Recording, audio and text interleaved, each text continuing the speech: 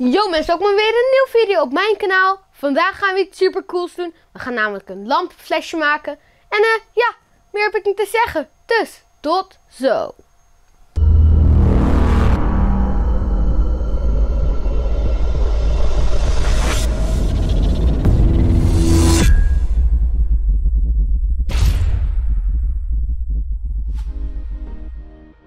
Wat we nu gaan doen is een gaatje boren in een glazen flesje.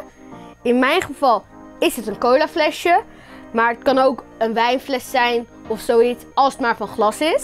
Ik doe voor de zekerheid wat handschoenen aan en natuurlijk een veiligheidsbril voor als hij uit elkaar zettert.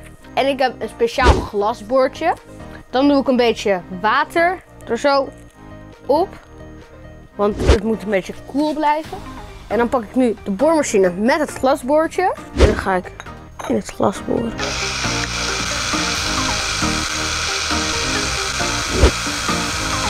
Heel erg rustig aanboren, want het is niet de bedoeling dat hij gaat knappen.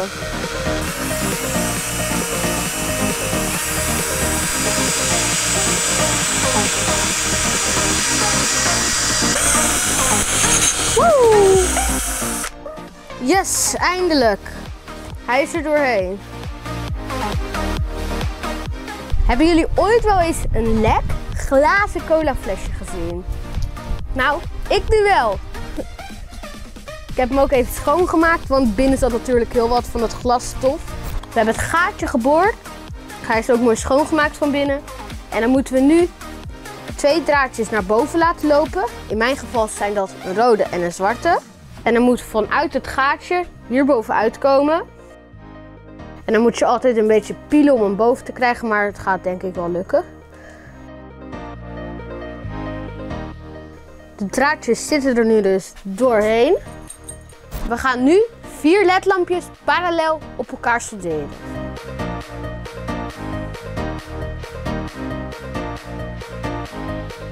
Een ledlampje heeft een plus en een min. Dus we moeten er nu voor zorgen dat het plus en de min goed op elkaar komt. Het lange pootje is de plus. Dus het moet lang pootje op lang pootje en kort pootje op kort pootje. Ik heb verschillende kleurenletjes. Ik heb twee keer rood en twee keer wit.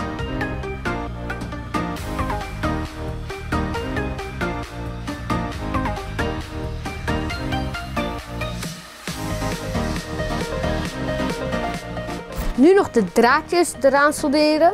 Rood op de pluskant en zwart op de minkant. Ik heb het allemaal gesoldeerd. Ik heb ze ook een beetje bij elkaar gebogen, dat die door de mond van de fles past. En dan gaan we nu even kijken of die het doet. Ja, ze doen het. We gaan deze gel dus in dit flesje gieten. Maar dat gaat natuurlijk never nooit lukken zo.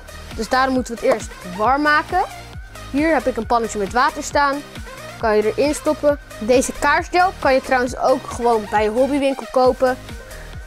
Heb ik hem ook vandaan. Nu zo in. En nu wachten tot het vloeibaar wordt.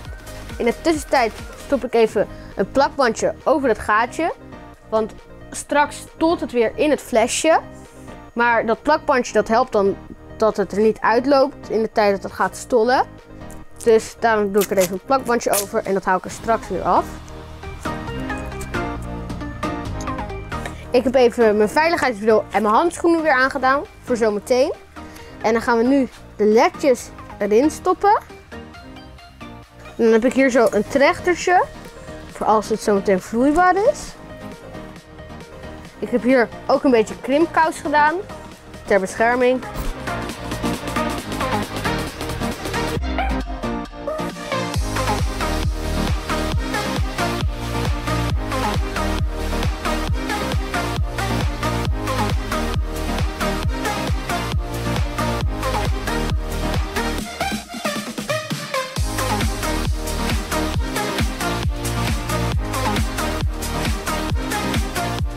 Oké, de gel zit erin.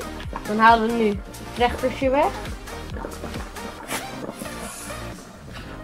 Zo. En dan gaan we nu heel even hem strak trekken, het draadje. En dan trekken we hem er nu langzaam in.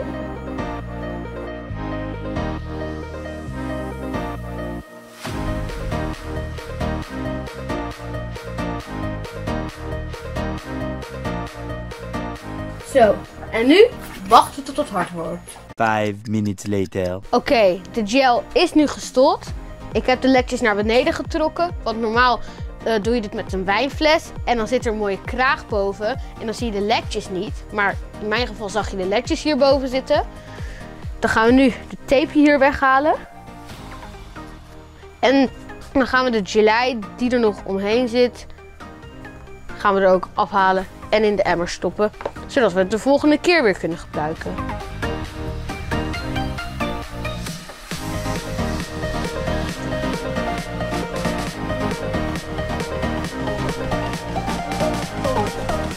Ik heb hier nog een cola dopje.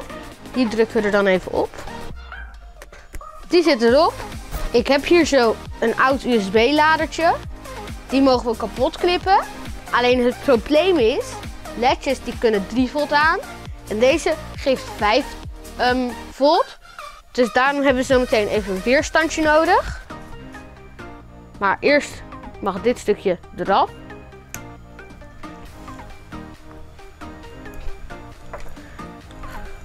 Zo, die is eraf. Gaan we nu op zoek naar de rode en de zwarte. Omdat een ledje maar op 3 volt werkt en een USB-lader 5 volt uitgeeft, moeten we dus een weerstandje tussen doen. Gaan we die nu solderen.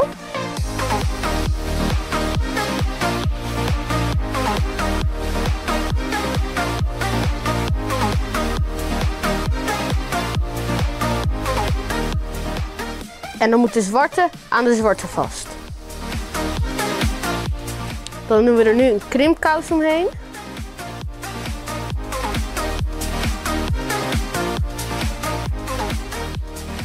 Hetzelfde doe je met de weerstand.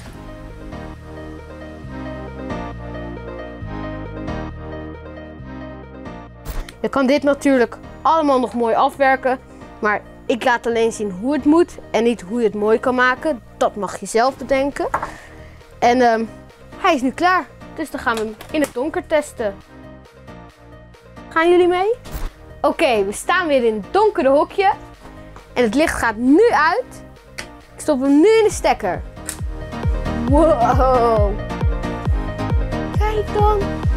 Die is gaaf. Wauw. Nou mensen, vonden jullie dit nou een leuke video? Vergeet dan vooral niet te abonneren. Doe natuurlijk ook een duimpje omhoog. En klik op het belletje, dat je iedere week op de hoogte bent van mijn video's. En uh, ja, meer heb ik niet te zeggen. Dus tot volgende week zondag. The best piece of advice I have for someone trying to succeed in the film industry or any creative space is if you're doing what everyone else is doing, you're doing it wrong.